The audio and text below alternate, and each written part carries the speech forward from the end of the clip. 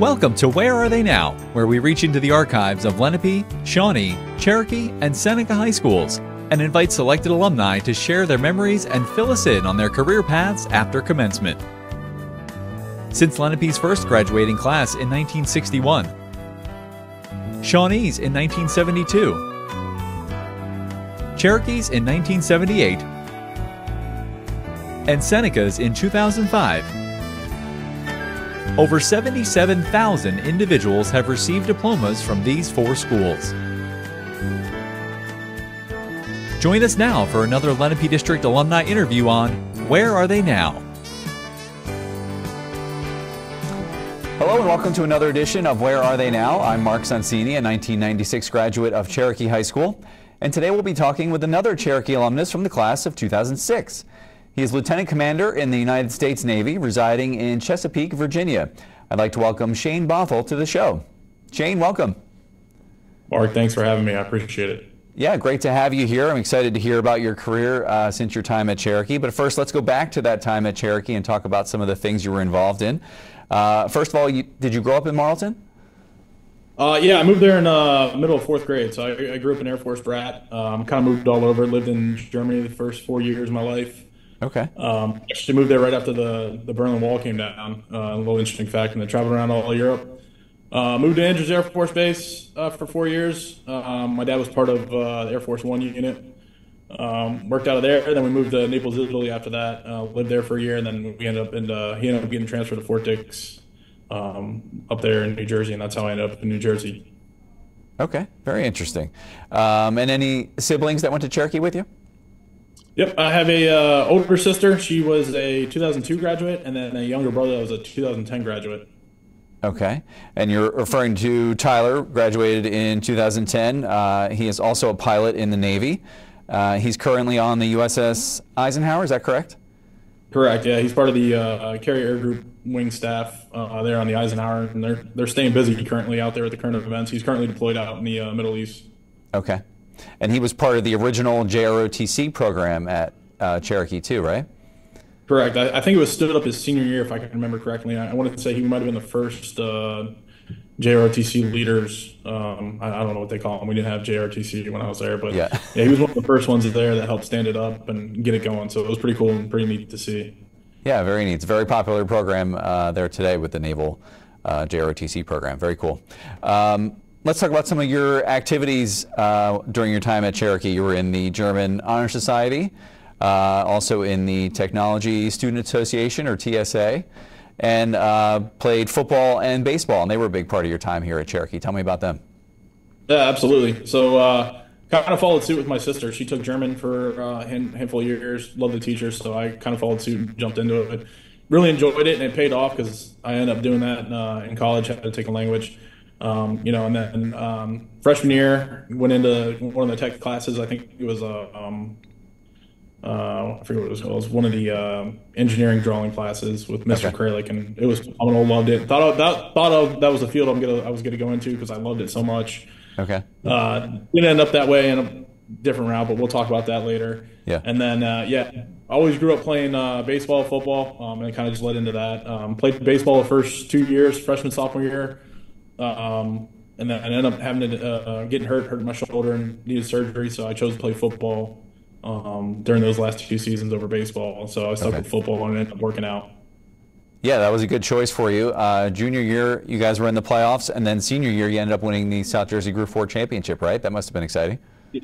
Very exciting. Yeah, I mean that's the way you want to go out, right? You want to go out as a winner. Yeah. Um, it was a fun year. Knew we had a lot of talent probably didn't apply as much talent as we had. But right, we started off season 0 2 my senior year, not the ideal way to start. Mm-hmm. Um, coming with a high expectation, and then we turned it around, ran the table, um, and then end up winning the uh, South Jersey Group Four state championship uh, in overtime against Absegami. So it was quite the way to walk it off. Very exciting, yeah. And a lot, a lot, of the coaches on those football teams made an impact on you, right? Tell me about them. Absolutely, yeah. Uh, both the baseball and football coaches made an impact, but you know, um, Mr. Megan Coach Glatz, um, Mr. Agnew, Coach Porter. Um, you know, uh, I think Coach DeVise was coming on. That was his first year, my senior year. But yeah, a lot of those guys had a huge impact on uh, on on me. You know, um, Coach Schultz. You know, he helped run the defense. Mm-hmm. um, with Coach Agnew, and it was just one of those things where like you love playing for those guys, um, and it's like playing the sport. It's easier when you have good coaches and you're pointing in the right direction. Sure. And uh, let's talk about some of the other teachers, uh, maybe in the classroom, that had an impact on you as well. You mentioned uh, Mr. Kralik for uh, technology. Tell me about him. Yep. Yeah, he. Uh, it was one of those classes you, you, sign up freshman year, you don't really know what you're getting into, mm-hmm. um, and he made it fun and interesting. And one of those things that like I every year I look forward to what the new uh, technology class was coming out that involved Mr. Kralik and um, some type of engineering drawing, right? And so I, I, found those fascinating. We started as you advance through the years, you started getting into the computer aided uh, courses, so like CAD. I remember right. we used uh, uh, was it Autodesk Rhinoceros or something like that, mm-hmm. um, and did all the renderings and thought that was just fascinating stuff. Um, and it was always a fun class that he made very interesting. Very good. Uh, also, you mentioned Richard Lundman for math, who was also a Navy grad uh, Karen Dooley for social studies, and Mike Delgercio uh, for English. Tell me about them briefly. Yeah, so um, first, Mr. Lubman, right? He was a Naval Academy grad. Um, going to this, never thought I was going to go to Navy, right? Um, but I remember I sat uh, front row, like second row in, uh, in his class, taught math, and he just that guy that always had a dad joke, um, right? I just made class fun. He made math interesting. Um, I probably didn't apply myself as much as I should have in math, and I think he was one of those guys that pushed me. And then when I showed interest in the Naval Academy, he kind of gave me that extra boost and kind of told me in the direction I needed to go and uh, helped me out. Uh, Miss Dooley, she was one of those classes that um, I forget the name of the class, but it was like military history, right? And I kind of thought I had an interest in military history, especially growing up, being around the military, moving around. Yeah. Um, touring all over Europe, seeing a lot of the World War II sites. Um, but she made it fun. She was passionate about it, and she made history, just learning about history, a lot of fun and enjoyable. And that's probably what led me to be a history major at the Naval Academy. Okay. Uh, and then Mr. Del Gercio, growing up, I hated English. Always hated English class. Hated reading, hated all that stuff.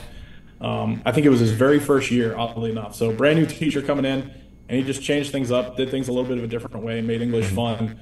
Uh, I think we read uh, Catcher in Rye that year, um, okay. which is you know a very famous book for sure. many reasons. But uh, he made it fun, interesting, and um, we had great conversations, learned a lot. But it's just one of those things I look back and I was like, man, that was the first time I ever thought English class was enjoyable. Um, so it was definitely an impact on, on me as a student. That's great. Now you mentioned um, that you didn't think you would go into the military. A, why did you think, coming from a military family, why did you think you didn't want to do that? And B, what did you think you did want to do at the time? So, uh, didn't want to go in the military because the amount of times that we moved growing up, right? Move around. Every time you um, you got used to something, got comfortable, made a lot of friends. Yeah. Um, we're an organization. It was like, boom, all right, we're moving.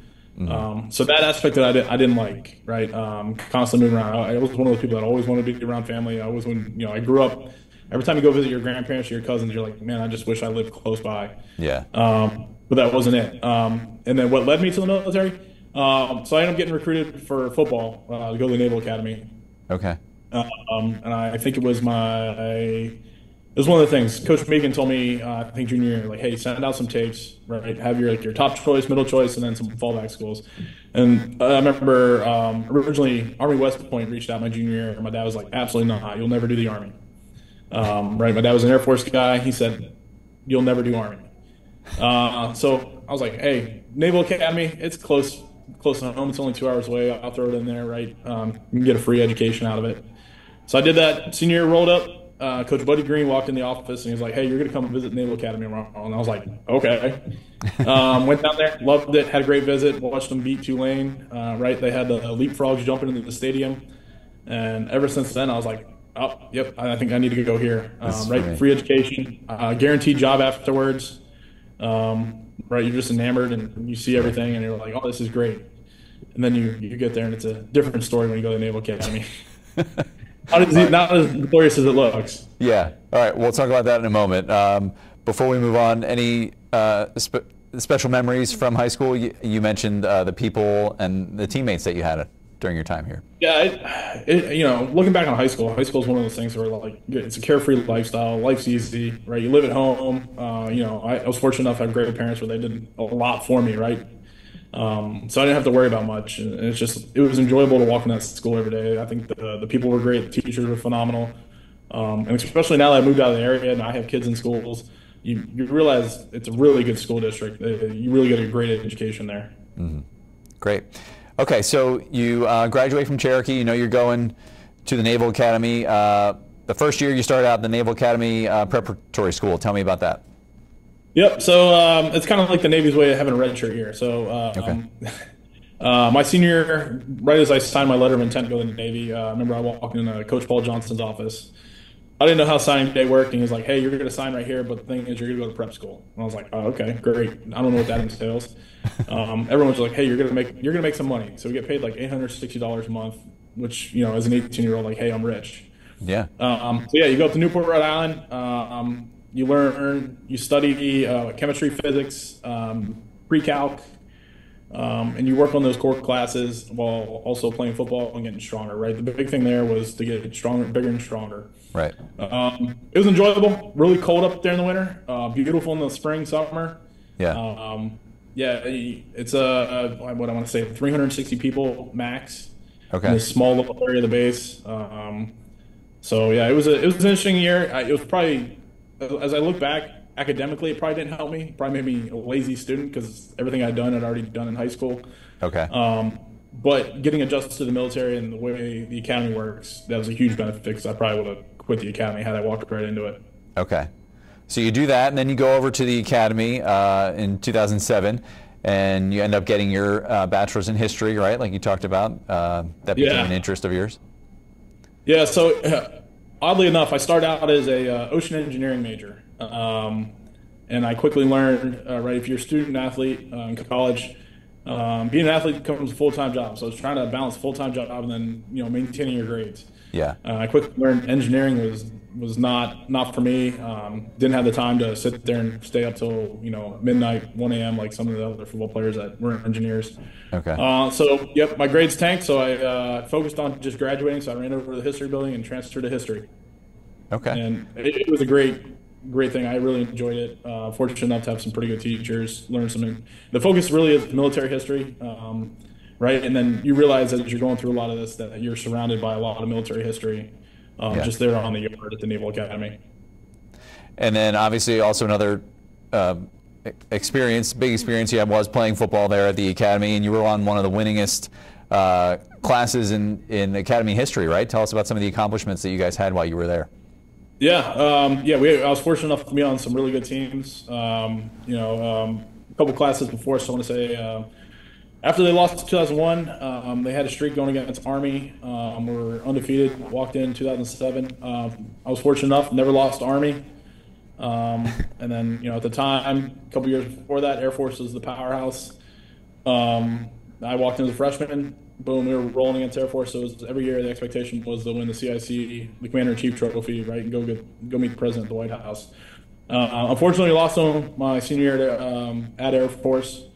Um, that one still haunts me today, but uh, it, it was still a great career, right? Had the opportunity to go. Um, we beat Notre Dame three out of four years I was there. Almost beat them my sophomore year, 28-21 Baltimore. Um, but yeah, I had the you know the chance to play in South Bend, beat uh, Notre Dame in South Bend. Um, had the chance to play Ohio State at Ohio State. Very cool. Uh, lost them by four uh, in the final minutes.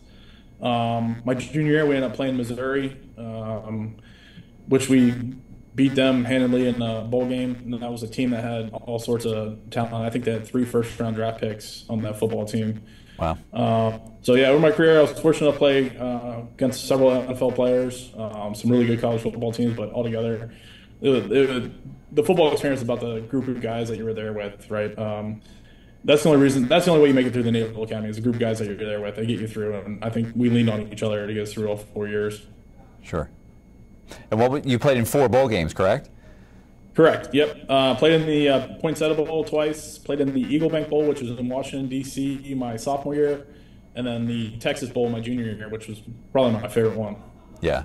Very cool. And then the Army Navy game uh, during those times was that in Philadelphia at that time?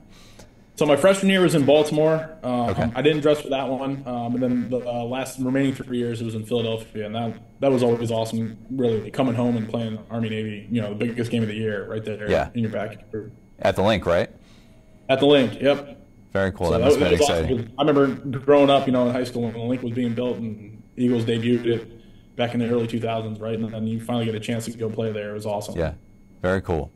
All right, so you're in the Navy, and at, at this point, or, or I guess at what point, I should say, um, have you decided like you're going to make a career out of being in the Navy, or are you thinking you're going to do something else after the academy, or where are you at at that point? Uh, so, yeah, it, so all along the academy, you kind of get exposure to all the different um, platforms, right? So the Navy encompasses both Marine Corps and Navy.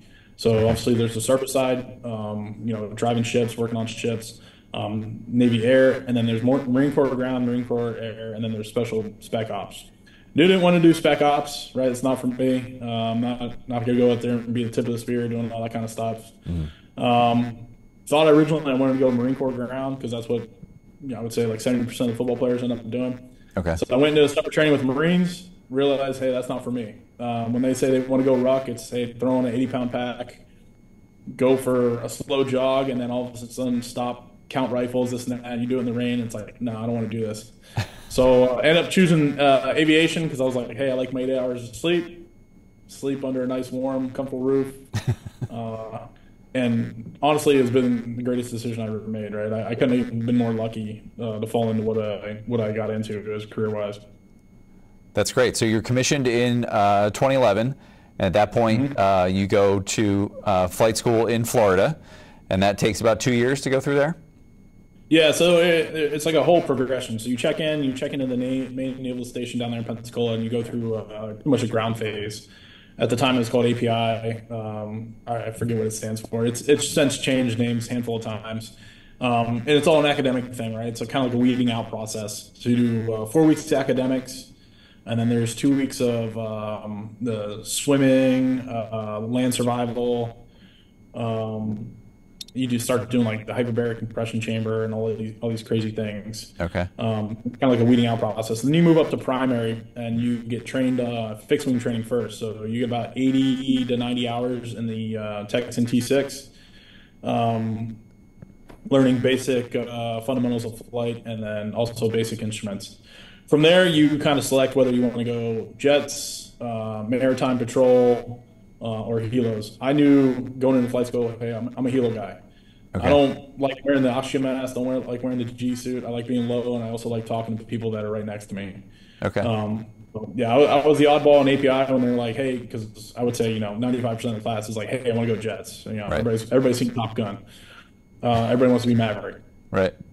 I'm like, nope, I want to go helicopters. and so they're like, oddball in the back of the class. We'll make sure you go helicopters. So, fortunate enough, yeah, I, am going helicopters. You uh, fly the Bell 206 JetRanger. Um, you get qualified in that. You get about 120 hours in that. Um, getting qualified in instruments and basic fundamentals of flying a helicopter. Uh, and then from there, you kind of put in your preference of location uh, or platform. Okay. Once again, I knew going into it because I, I, had a buddy that did 53s. I, you know, I had a teacher that was a, a 53 pilot at the prep school that I was interested in. I was like, hey, I want to go uh, Navy 53s. Uh, so then I put that as my number one choice fortunate enough, I did well and the timing worked out. That I got selected to go uh, fly the MH-53 for the Navy. Okay, and that's in you. You earn your wings in October 2013, correct? Correct. Yep, October 13th, 2013. All right, and you're selected to fly, as you said, the MH-53E called the Sea Dragon. Tell us what kind of uh, helicopter that is and what it's used for. So uh, the MH-53 uh, EC Dragon, uh, it's used for helicopter mine countermeasures as our primary. Uh, so we can tow an array of five devices, looking for acoustic, magnetic, um, you know, mechanical, more influence mines. Um, so we go out and look for mines, right? Basically, IEDs for underwater. Um, uh, so you take like a ten thousand dollar mine, and it's a threat against you know a billion dollar warship. So our right. job is go out there and make sure there aren't mines in the water. Um, and then, uh, you know, when we're not doing that, we have secondary missions of uh, vertical onboard delivery or heavy lift. So we can lift uh, externally up to 25,000 pounds with it, uh, internally based upon your fuel, fuel loads. Um, the thing becomes like a, a, flying school bus, right? We can take up to 55 people in the back or probably like, I don't know, 15 to 20,000 pounds of cargo uh, wow. folded out in the back.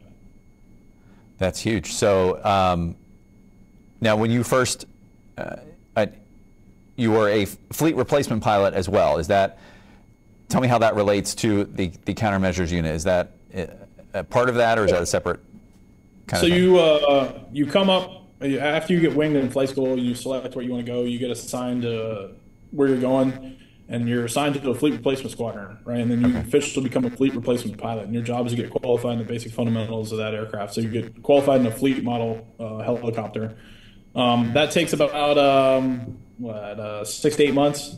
Uh, I was held up a little bit. Um, we there was a mishap with HM14 where uh, one of the 53s crashed right off the coast. Oddly enough, it was uh, one of our one of my class advisors. was the first flight as he was back at the squadron. We're actually coming up on the 10 year anniversary of it on Monday.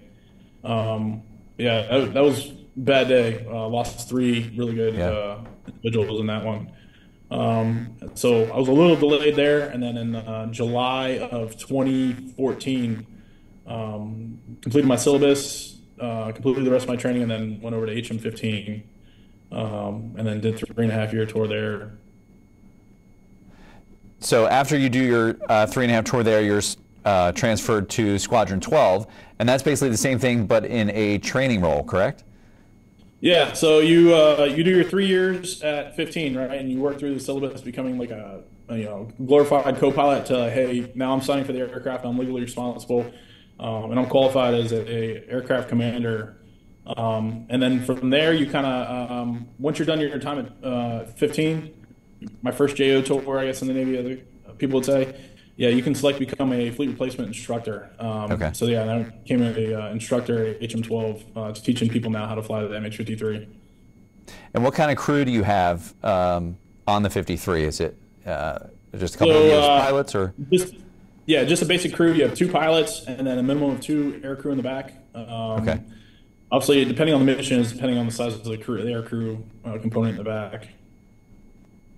And then after doing uh, training the new pilots, then you go back to Squadron 15, but now you're the department head. How long, or at what point did that happen where you transferred back to 15? So I transferred back to 15 in August of 2020, okay. um, and then uh, spent three weeks and then immediately shipped right out on, on deployment uh, to be the assistant officer in charge out in Bahrain, um, which is out in the Middle East. Which is I did what four deployments there in my total time over the years.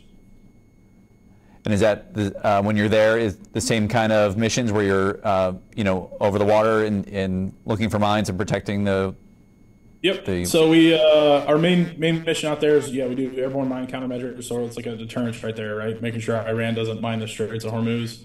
Okay. Um, so we'll go out and we'll do surveys, making look you know checking the bottom of the ocean floor, making sure there's no mines.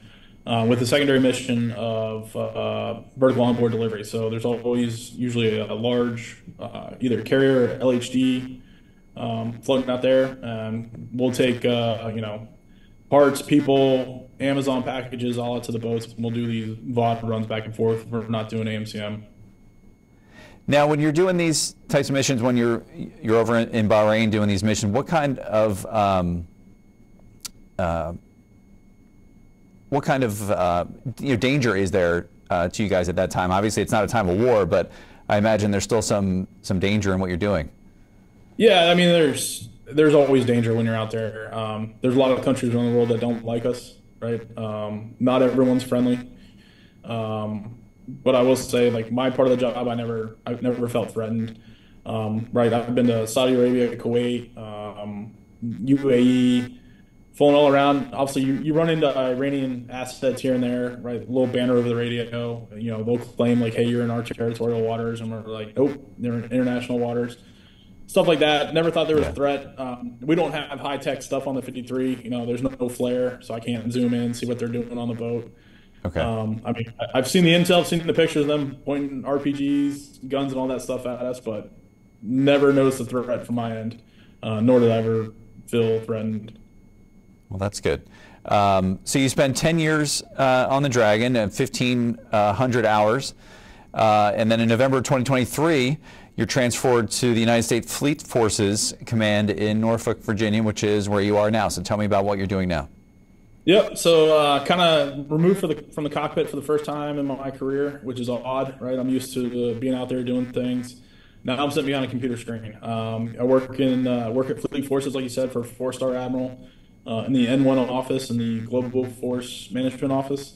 Okay. And basically, we do uh, sourcing. We source people for individual augmentation. So if there's a, a major event going on around the world, we need extra bodies. You know, bill it here and there. We'll, we'll augment people here and there. Uh, on my specific job, I augment people for exercise. So people request support for an exercise, and I, I source out to the TYCOM saying, hey, I need bodies, and then hey, I fill these billets to help this exercise out. Make sure that the fleet's getting what they need. Okay. Do you miss flying? Absolutely. Yeah, I've done some cool things in my flying career. Um, flown the aircraft uh, all the way down, pretty much up and down the East Coast. Uh, like I said, I've flown all over the Middle East in that thing. I've done hurricane. Uh, after Hurricane Maria, we did DSCA had a relief, right? So we got it's really rewarding when you get to help people. Sure. Uh, so I, yeah, I've done some really cool things, done flyovers, all that fun stuff. Uh, okay, let's talk about your family life a, a, little bit. You're married to your high school sweetheart from Cherokee, Jennifer Fusco. Um, yep. Also a 2006 grad. How did you guys uh, meet or start dating? So oddly enough, we've known each other probably since middle school. Uh, okay. I think there's this infamous picture of us from an eighth grade dance where we're in the same picture and probably had no idea. That's funny. Um, but we ended up uh, really meeting and talking junior high school, and then that's when we started dating at the end of junior year. Um, and it's one of those things that, yeah, she's become my best friend. You know, instantly, like things just clicked, and yeah, uh, yeah, she's a, she's a rock star. She's you know the rock of the family. I Hold it down. Um, she's amazing.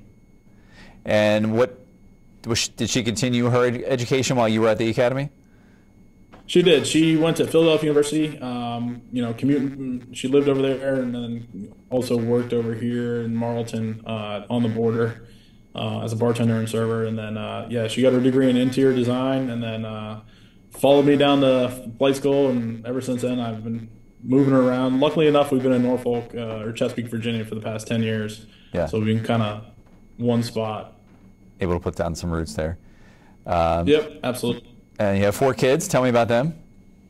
Four kids, yeah. Olivia, Landon, McKinley, and Cole, uh, ages uh, 11, 9, 5, and 4, and they keep us busy. They're very active. Uh, amazing kids, right? Um, my oldest daughter, Olivia, she does horseback riding, so uh, that, that, takes a lot of her time, right? Mm-hmm. Um, my uh, oldest son, Landon, does ice hockey. He does a lot of travel ice hockey. Uh, has been in love with that. And then uh, McKinley does dance. She also she's also a type one diabetic. Um, so we're a big advocate for that. You know that that takes up a lot of time, a lot of learning. And then Cole, our youngest one, he's just a little pit bull. Uh, he's probably bigger than anyone, um, but he also does ice hockey as well. But yeah, he he just gets he's a rink rat. He gets dragged everywhere. and you help coach. Is it uh, Landon's or Cole's team? Landon's, yeah, I helped coach Landon's uh, hockey team this year. Um, okay. So obviously, being at the squadron, you're constantly the flight schedule's in flux, right? You don't know yeah. what you're doing the day proper. So I, I couldn't help coach.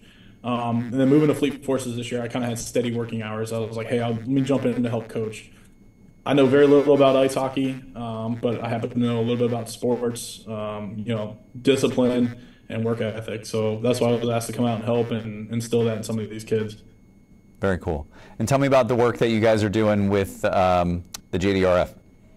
Yep. So uh, pretty much run by my wife. Like, I said, she's amazing. Um, we help uh, run a team, help support the JDRF here in the local chapter. Um, we have a big uh, uh fundraiser every May. I want to say it is April May okay. Uh, for my daughter uh, for Team Big and Brave is what we call it. Um, yes. Yeah, so we anything we can do to help bring awareness and then support type one diabetes especially for juvenile diabetes. Yeah, uh, we're here to do it. And the whole family gets involved in those, right? When you whole family. Yeah. When I say the whole family, we get friends, family. Everybody comes down, uh, pitches in. They all come for the walk. There's a walk down here on the uh, Virginia Beach ocean front. Uh, it's just a great thing to help uh, show support for her and then other juvenile diabetes. That's great. So tell me about uh, some plans for the future. What's on the horizon for you? Oh, on the horizon. Um, yeah, things are starting to slow down now. I'm not in the cockpit. Um, so I have uh, approximately, what, six, five or six years left in the Navy before I can officially okay. retire. So the goal is ride that out, uh, finish my time in the Navy, uh, collect retirement, and then hopefully maybe move back to the Philadelphia area. Um, I have uh, fleet two more years at Fleet Forces. Uh, after that, I'm hoping to maybe be selected for Reserve Center CO somewhere. Okay. Um, I think there's there's spots all around the Northeast, that'd be the ideal location. But really, I'll go wherever. Terrific. Well, Shane, thanks so much. Uh, it's been great catching up with you today and, and great hearing about all your success since your time at Cherokee. Thank you so much for your service, and uh, we really appreciate you being with us today. Hey, Mark, I appreciate it. Take care now. Thank you. And that's all for this episode of Where Are They Now? For other Lenape District alumnus interviews, check us out online at youtube.com slash Lenape District TV. Thanks for joining us, and we'll see you next time.